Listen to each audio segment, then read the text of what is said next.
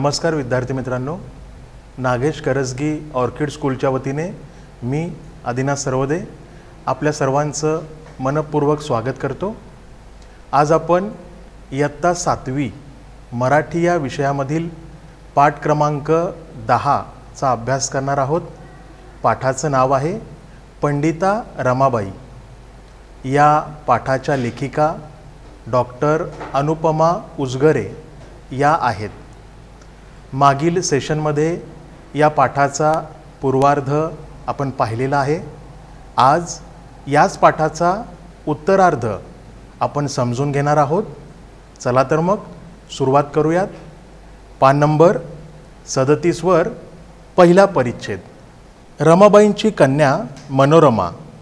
परदेशातून ब्रेल लिपी शिकून आल्यामुळे अंध स्त्रियांच्याही शिक्षणाची सोय झाली. मुलांनो पंडिता रमाबाई यांच्या कन्या मनोरमा या परदेशातून ब्रेल लिपी शिकून आल्यामुळे अंध स्त्रियांच्याही शिक्षणाची खूप छान उत्तम अशी सोय झाली. ब्रेल लिपी म्हणजे अंधांसाठी तयार केलेली उठावदार टिंबांची लिपी. स्क्रिप्ट. या लिपीचा जनक लिवी ब्रेल हे फ्रेंच अंधशिक्षक होय. या लिपीद्वारे अंध व्यक्ती हाताच्या बोटांनी उठाव टिंबांना स्पर्श करून लिपीतील लेखन वाचू शकते. तर अशी ही ब्रेल लिपी पंडिता रमाबाई यांच्या कन्या मनोरमा परदेशातून शिकून आल्यामुळे अंध स्त्रियांच्याही शिक्षणाची सोय त्यावेळेस झाली होती. पंडिता रमाबाईंनी मुक्ती मिशनची स्थापना केली.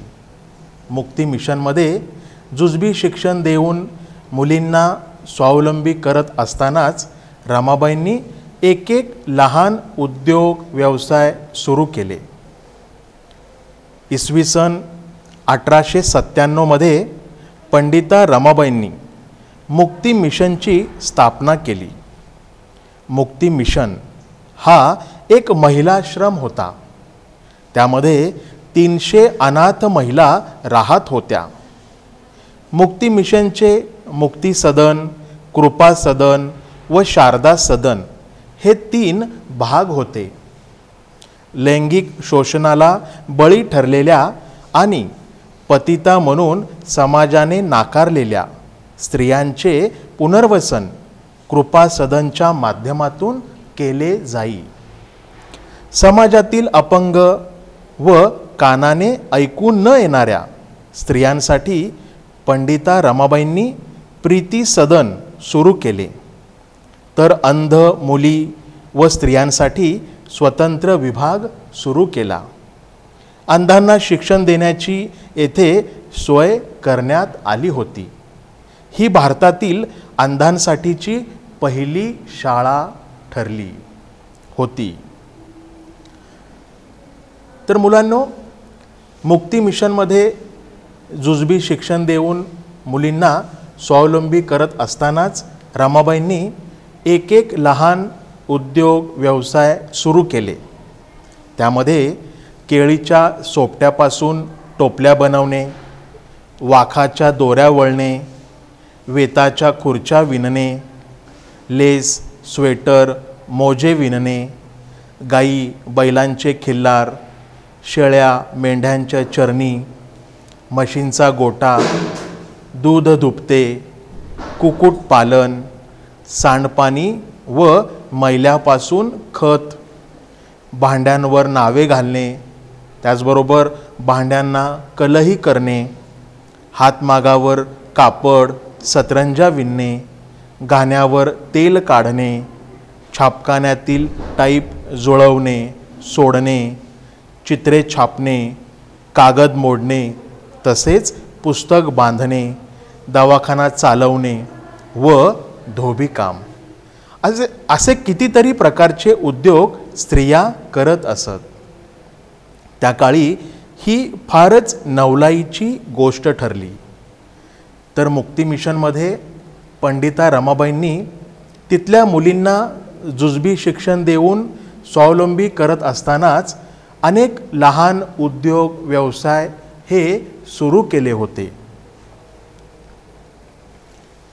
अडीच हजार लोक बसू शकतील असे प्रार्थना मंदिर चर्च बांधताना काटकसर म्हणून रमाबाईंनी त्याचा आराखडा स्वतःच तयार केला आणि डोक्यावर विटांचे घमेले वाहून बांधकामाला हातभारही लावला.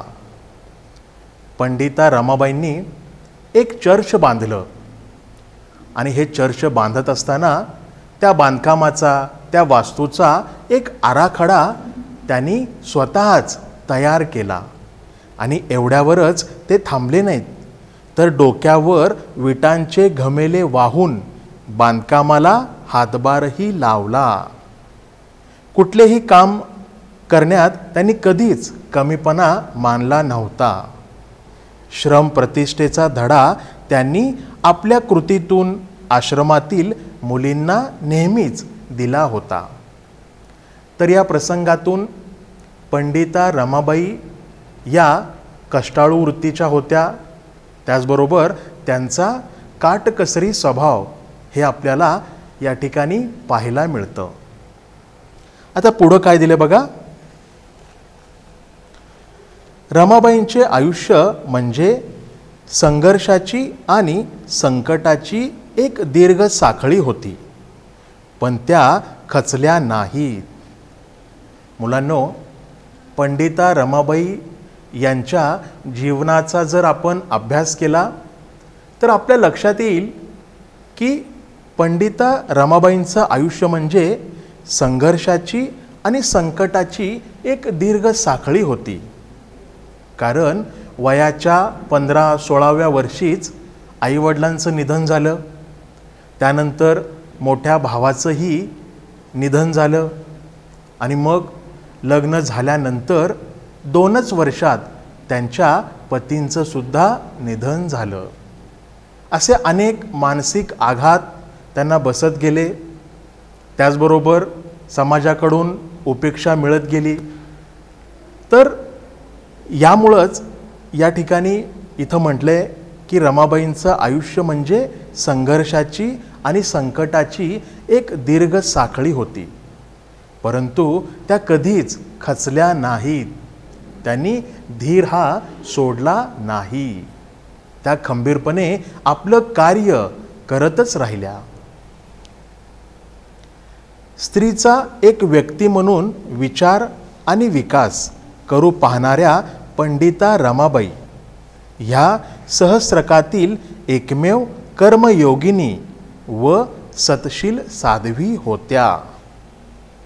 तर स्त्रियांचा एक व्यक्ती म्हणून विचार व्हावा त्यांची सर्वांगीण प्रगती विकास व्हावा आणि हा विकास करू पाहणाऱ्या पंडिता रमाबाई ह्या सहस्रकातील एकमेव कर्मयोगिनी व सत्शील साध्वी होत्या. सहस्रकातील म्हणजे एक हजार वर्ष. कर्मयोगिनी कर्माला महत्त्व देणारी महान अशी स्त्री. सत्शील म्हणजे चारित्र्यवान आणि साध्वी म्हणजे सज्जन वृत्तीची. तर पंडिता रमाबाई ह्या सहस्रकातील एकमेव कर्मयोगिनी व सत्शील साध्वी होत्या. त्या अशा सूर्यकन्या होत्या ज्यांच्या नशिबी स्वतःच्या तेजामुळे आयुष्यात होरपळणे आले. पण त्यांनी अनेक वाळवंटी आयुष्यांचे नंदनवन करत कित्येक काळोखी आयुष्ये उजळवून टाकली. मुलांनो ज्याप्रमाणे सूर्य स्वतः ज्वाळांनी वेढलेला असतो त्याप्रमाणे पंडिता रमाबाईंच्या नशिबी स्वतःच्या तेजामुळे आयुष्यात होरपळणे आले. पण जसा सूर्य स्वतःच्या तेजाने सृष्टी उजळवून टाकतो त्याप्रमाणे त्यांनी आपल्या कार्याद्वारे अनेक वाळवंटी आयुष्यांचे नंदनवन करत कित्येक काळोखी आयुष्ये उजळवून टाकली.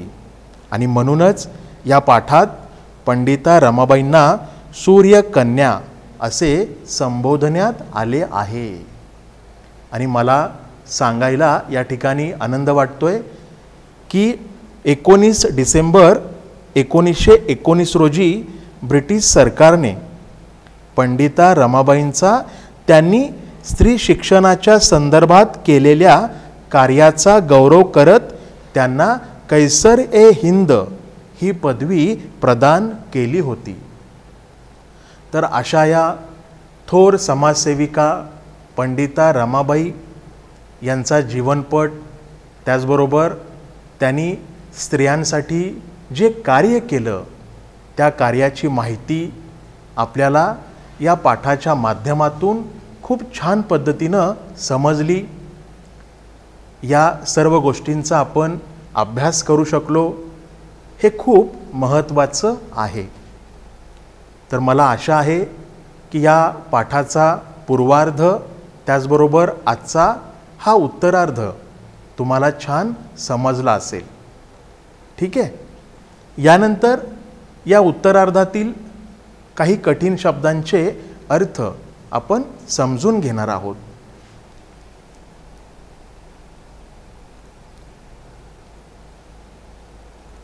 बघा मुलांनो तुमच्या टी व्ही स्क्रीनवर शब्दार्थ दिसत असतील.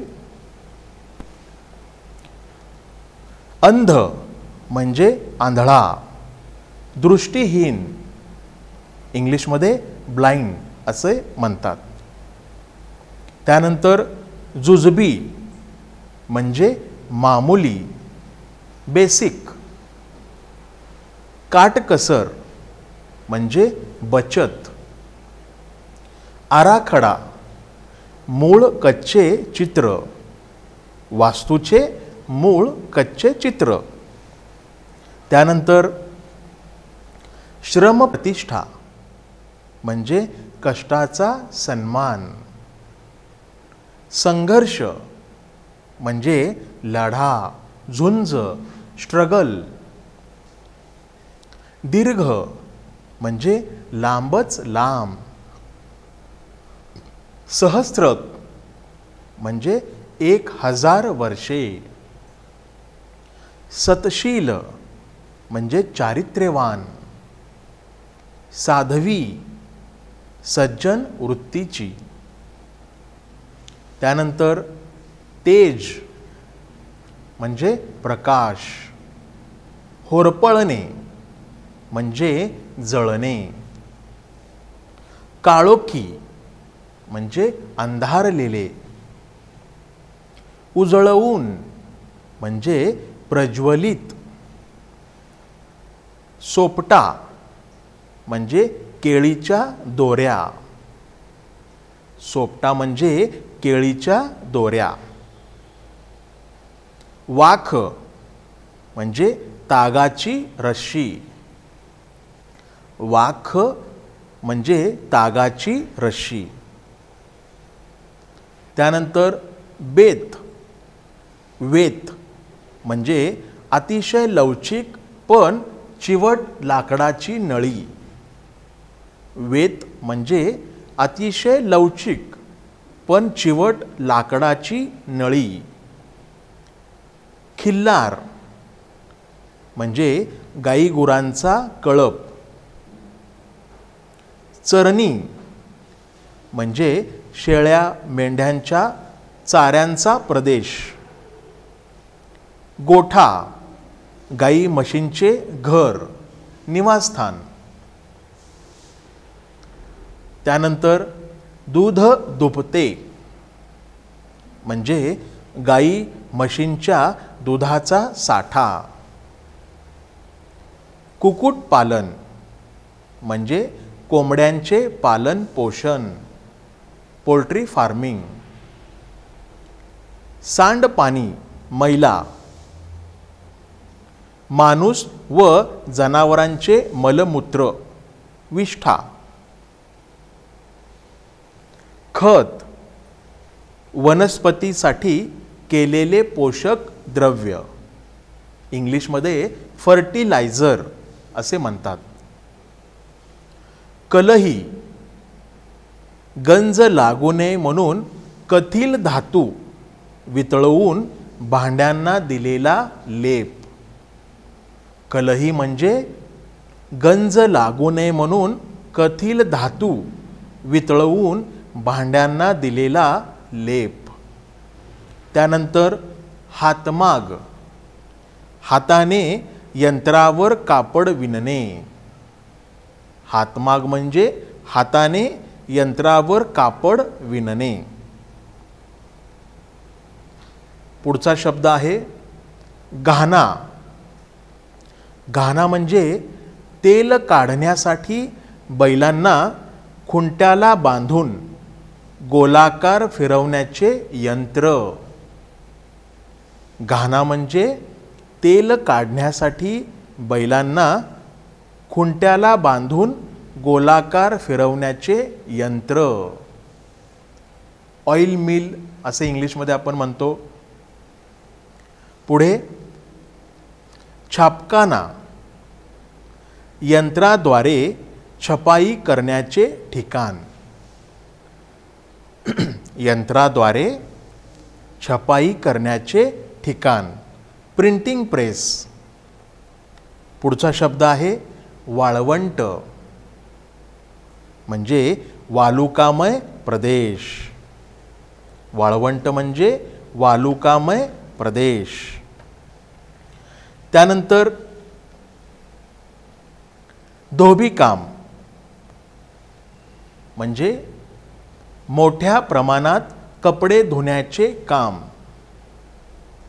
धोबीकाम म्हणजे मोठ्या प्रमाणात कपडे धुण्याचे काम. पुढे घमेले म्हणजे गवंडी कामात उपयोगात येणारी पत्र्याची टोपली.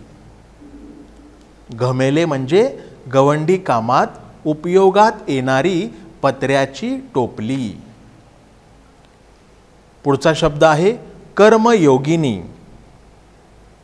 म्हणजे कर्म करणे हेच जिचे व्रत आहे अशी महान स्त्री. कर्मयोगिनी म्हणजे कर्म करणे हेच जिचे व्रत आहे अशी महान स्त्री. त्यानंतर सूर्यकन्या. सूर्यकुळात भारतवर्षात जन्माला आलेली कर्तबगार स्त्री. पुढचा शब्द आहे नंदनवन. म्हणजे सर्व सुखे जिथे नांदतात असा काल्पनिक स्वर्ग. नंदनवन म्हणजे सर्व सुखे जिथे नांदतात असा काल्पनिक स्वर्ग. त्यानंतर काही वाक्प्रचार दिलेले आहेत.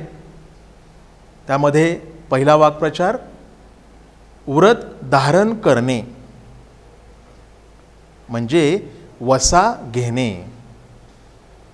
व्रत धारण करणे म्हणजे वसाह घेणे.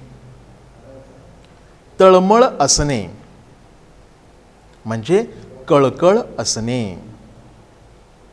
तळमळ असणे म्हणजे कळकळ असणे. त्यानंतर हातभार लावणे मदत करणे धडा देणे शिकवण देणे. ठीक आहे मुलांनो? यानंतर आपल्या पाठ्यपुस्तकातील स्वाध्यायामध्ये काही प्रश्न दिलेले आहेत तर त्या प्रश्नांची उत्तरे हे जाणून घेऊ. बघा.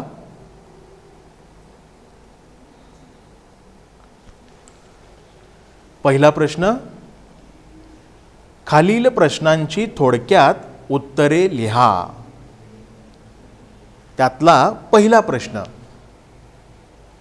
पंडिता रमाबाईंनी हंटर कमिशनकडे कोणती शिफारस केली? पंडिता रमाबाईंनी हंटर कमिशनकडे कोणती शिफारस केली? आणि उत्तर आहे स्त्रियांनी शिकले पाहिजे. शिकवले पाहिजे. त्यासाठी आपल्या मातृभाषेचे अचूक ज्ञान त्यांनी प्राप्त केले पाहिजे. असे पंडिता रमाबाईंना वाटे. त्यामुळे शिक्षिका म्हणून उभ्या राहण्यासाठी स्त्रियांना प्रोत्साहन म्हणून शिष्यवृत्त्या दिल्या पाहिजेत. स्कॉलरशिप दिली पाहिजे. अशी शिफारस पंडिता रमाबाईंनी हंटर कमिशनकडे केली. बरोबर? पुढचा प्रश्न. पंडिता रमाबाईंना स्त्री जातीविषयी अपार प्रेम होते हे त्यांच्या कोणत्या उद्गारावरून समजते? पंडिता रमाबाईंना स्त्री जातींविषयी अपार प्रेम होते हे त्यांच्या कोणत्या उद्गारावरून समजते? आणि उत्तर आहे मला भारतातील सर्व स्त्रिया सारख्याच आहेत. जिथपर्यंत माझ्या शरीरात रक्ताचा एक बिंदू मात्र आहे तिथपर्यंत आपल्या स्त्रीजातीचे कल्याण व सुधारणा करण्याच्या कामापासून मी परामुख होणार नाही. स्त्री जातीची सुधारणा करण्याचे व्रत मी धारण केले आहे. ह्या रमाबाईंच्या उद्गारावरून त्यांना एकूणच स्त्री जातीविषयी अपार प्रेम होते हे समजते. आलं लक्षात मुलांनो? त्यानंतर तिसरा प्रश्न. पंडिता रमाबाई कष्टाळू व काटकसरी होत्या हे कोणत्या प्रसंगातून जाणवते? आपण आत्ताच हा प्रसंग पाहिला. उत्तर आहे पंडिता रमाबाईंनी अडीच हजार लोक बसू शकतील असे प्रार्थना मंदिर चर्च. बांधताना काटकसर करता यावी म्हणून स्वतःच त्याचा आराखडा तयार केला. प्रत्यक्ष बांधकामात डोक्यावरून विटांचे घमेले वाहून त्यांनी बांधकामाला हातभार लावला. कुठलेही काम करण्यात त्यांनी कधीच कमीपणा मानला नाही. तर अशा प्रकारे प्रार्थना मंदिराच्या उभारणीच्या वेळी पंडिता रमाबाईंच्या व्यक्तिमत्वातील कष्टाळू व काटकसरी वृत्ती जाणवते. बरोबर? त्यानंतर दुसरा प्रश्न. खालील चौकटी पूर्ण करा. यामध्ये पहिला प्रश्न दिलाय. पंडिता रमाबाईंचा विवाह यांच्याबरोबर झाला. पंडिता रमाबाईंचा विवाह यांच्याबरोबर झाला. आता आपलं उत्तर या समोरच्या चौकटीत लिहायचं आहे तर पेन्सिलीच्या साह्याने तुम्ही पटकन उत्तर लिहून घ्यायचं आहे आणि उत्तर आहे बिपिन बिहारी मेधावी. बिपिन बिहारी मेधावी यांच्याबरोबर पंडिता रमाबाईंचा विवाह झाला. पुढचा प्रश्न. त्यांच्या मुलीचे नाव. आणि उत्तर आहे मनोरमा. पंडिता रमाबाई यांच्या मुलीचे नाव मनोरमा. त्यानंतरचा प्रश्न अंध व्यक्तींसाठी उपयुक्त लिपी. ब्रेल लिपी. ब्रेल लिपी. ठीक आहे.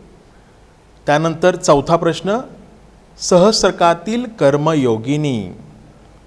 आणि उत्तर आहे पंडिता रमाबाई. अलक्षात लक्षात? त्यानंतर पुढचा प्रश्न. पंडिता रमाबाईंनी मुक्ती मिशनमध्ये स्त्रियांसाठी सुरू केलेल्या लहान उद्योगांची नावे लिहा. तर आपण आत्ता उत्तरार्धामध्येच या लहान उद्योग व्यवसायांची नावे पाहिलेली आहेत. ठीक आहे?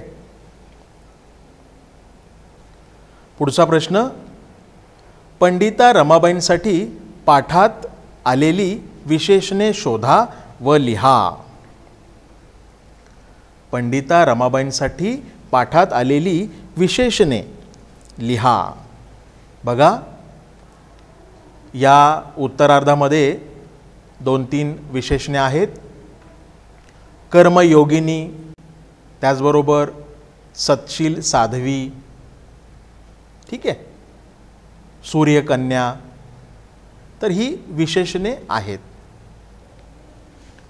पुढचा प्रश्न. खेळूया शब्दांशी. यातला पहिला प्रश्न. खालील शब्दात लपलेले शब्द शोधा. आता या ठिकाणी दोन शब्द दिलेत. त्या शब्दांमध्ये लपलेले इतर अर्थपूर्ण शब्द शोधायचेत आणि लिहायचेत. एका शब्दातील अर्थपूर्ण शब्द या ठिकाणी दिलेले आहेत. उदाहरणार्थ गारवा. यामध्ये लपलेले शब्द बघा. गार रवा. त्यानंतर वार गावा वागा. ठीक आहे? गारवा या शब्दात लपलेले शब्द गार रवा वार गावा आणि वागा. आता याप्रमाणेच खाली दोन शब्द दिलेत. त्यातला पहिला शब्द आराखडा. यामध्ये लपलेले शब्द राख. त्यानंतर राडा खरा खराडा बरोबर? तर याप्रमाणे हे शब्द लिहायचे. दुसरा शब्द सुधारक सुधा सूर सुकर धार कर आणि धाक. तर असे अनेक शब्द या एका शब्दात लपलेले आहेत. ठीक आहे? पुढचा प्रश्न. असे तीन अक्षरी शब्द शोधा ज्यांच्यामधले अक्षर रंग आहे. त्याची यादी करा. असे तीन अक्षरी शब्द शोधा ज्याच्यामधले अक्षर रंग आहे.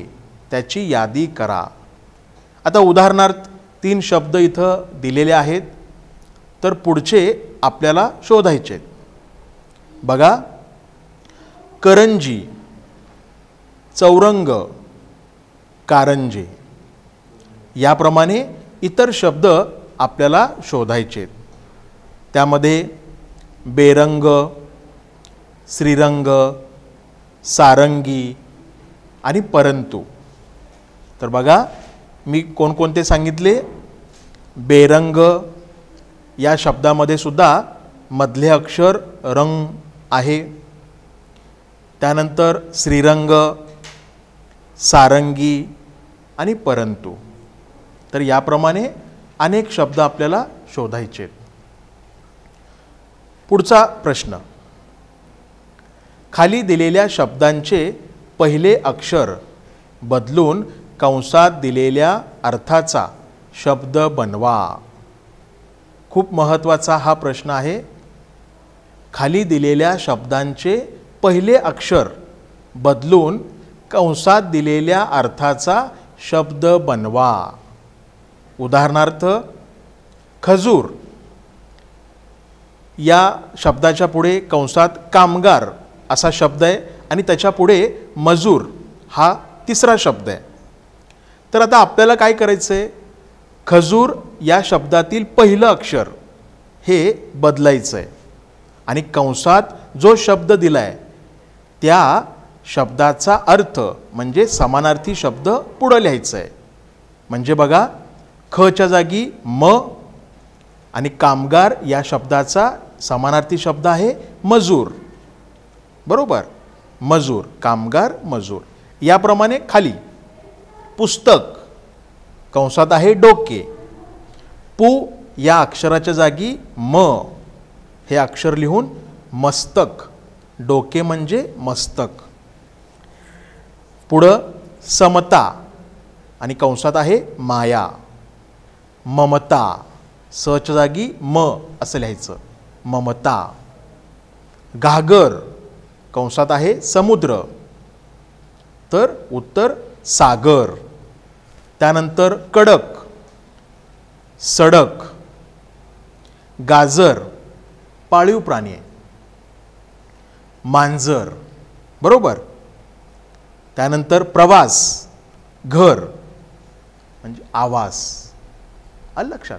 याप्रमाणे हे प्रश्न सोडवायचे आहेत. तर बघा मुलांनो आज आपण पाठ क्रमांक दहा पंडिता रमाबाई. या पाठाचा उत्तरार्ध समजून घेतला. त्याचबरोबर शब्दार्थ प्रश्न उत्तरे हे सुद्धा खूप छान समजून घेतले. तर आशा आहे की हा संपूर्ण भाग तुम्हाला छान समजला असेल. ठीक आहे? धन्यवाद.